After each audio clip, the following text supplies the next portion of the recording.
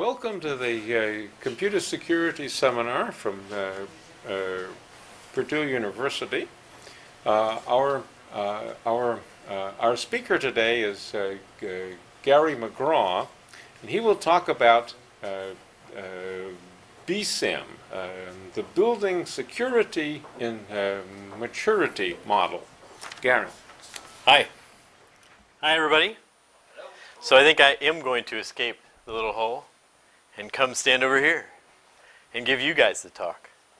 So uh, BSIMM is about software security.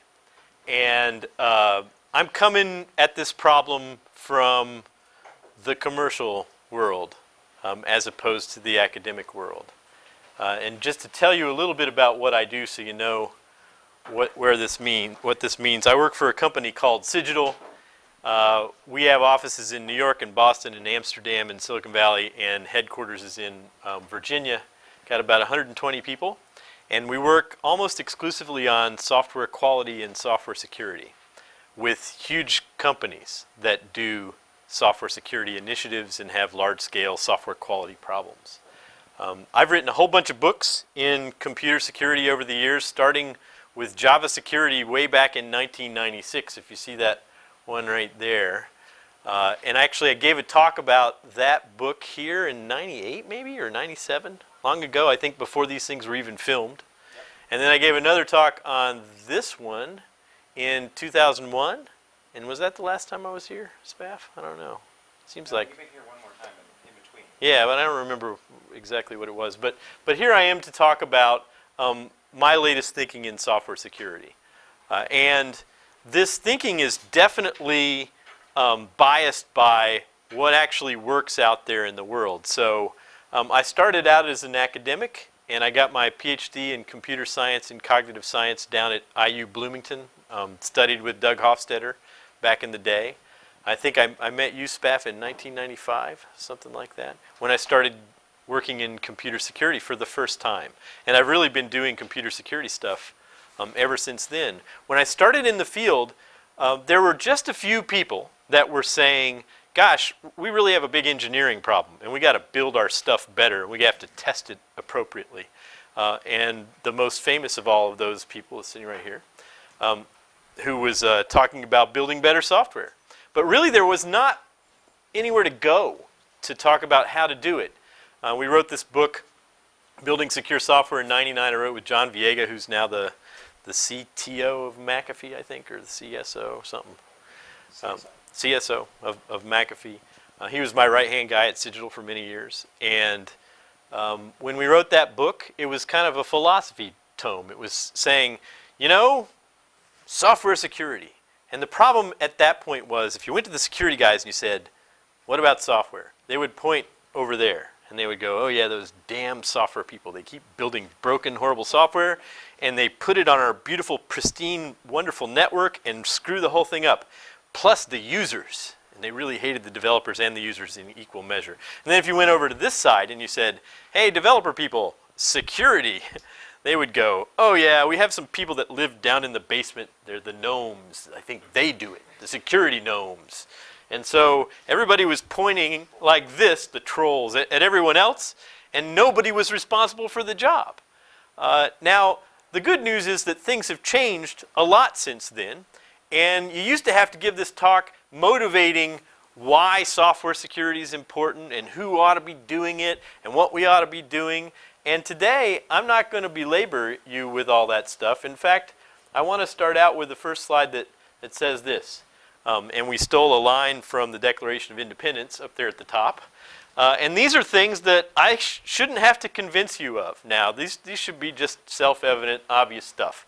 Um, the first is that software security is not about security functions. It's not about cryptography or authentication or any sort of mechanism. Mechanisms certainly play a role, but security is not a mechanism. It's not a thing, it's a property. And it turns out to be an emergent property of a whole system. Uh, kind of like quality. It would be great if you could just have a quality thing and you would check the little quality thing in a pull down menu and all of a sudden quality would be up. You know, you could do the same thing for security. Just check the little security thing and security would be on. And uh, unfortunately, it doesn't work that way. As you all know, Many developers don't know that yet because developers have been taught for many, many years. We got any developers in, in the audience back here? No, all students, no developers? Oh well. Developers have been taught for many decades to think in terms of features and functions because when it comes to planning a project or building an architecture, it's always described in terms of features and functions. So it's only natural to consider that developers would, when faced with security, think of security as a feature or function. It's just part of the way they think. So we still have to disavow them of that belief and get to this notion of emergent security, but I don't have to convince you guys of that, so I won't try to do so. Do so. The other thing you have to understand about software security is that problems in software come in two major varieties. One variety is bugs, that's implementation problems in code, and the other variety is flaws, that is problems in design.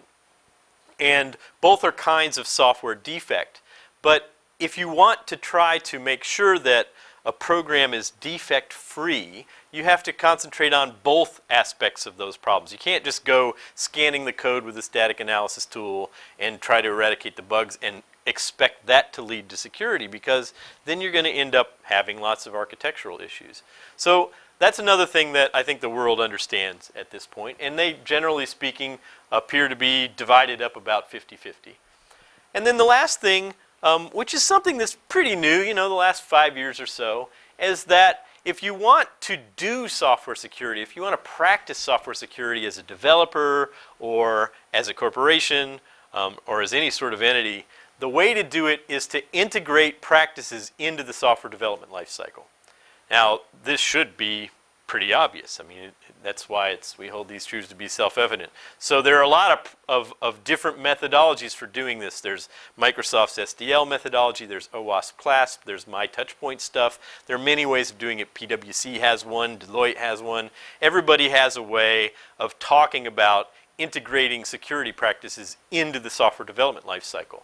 So those are the things that we're starting with, and let's move on from there. You know, in fact, that's kind of the state of the practice around 2006. Um, this book, Software Security, that I wrote came out, and six months later, um, Steve and Mike Howard wrote the SDL book, and um, OWASP came out around the same time. And basically, if you stand back and squint, this work looks very similar because it says you should do things like review your code with a static analysis tool. You should do architectural risk analysis. Gosh, penetration testing is a good idea, but you should also do security testing um, at the unit level and the integration level. And you know, these, these notions of stuff you ought to do in the SDLC, that is fairly well understood um, philosophy now. But if you think about it, where did this come from? Well, it turns out it came from thin air. and it was based on what I like to call faith-based software security. So there were various people that were running around promulgating different faiths, you know, the popes of the, different religions. And, and, uh, and faith-based software security, generally speaking, works okay, but, the, but it's just based on faith and personality and convincing people that that's the way they ought to do it. And you know, I stand guilty of being um, one of the promulgators of faith-based software security, but uh, we don't have to do that anymore. And in fact, what happened to me was I was at a technical advisory board meeting a couple years ago at Fortify, and yet another software security religion was presented.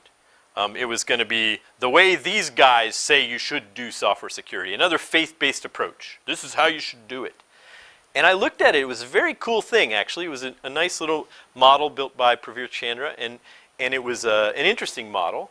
But the problem was, when I looked at it, I said, you know, I've done seven large-scale software security initiatives, and none of them did it this way. So in theory, you could do it that way, but nobody has done it that way in my own experience. So I said, well, have you guys actually done it? Oh, no, no, no. It's faith-based software security. And the, the sort of obvious thought is,